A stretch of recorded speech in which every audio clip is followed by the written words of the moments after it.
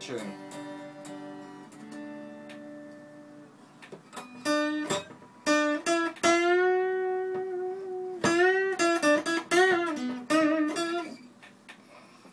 like that. Oh, why do I always end with something like that?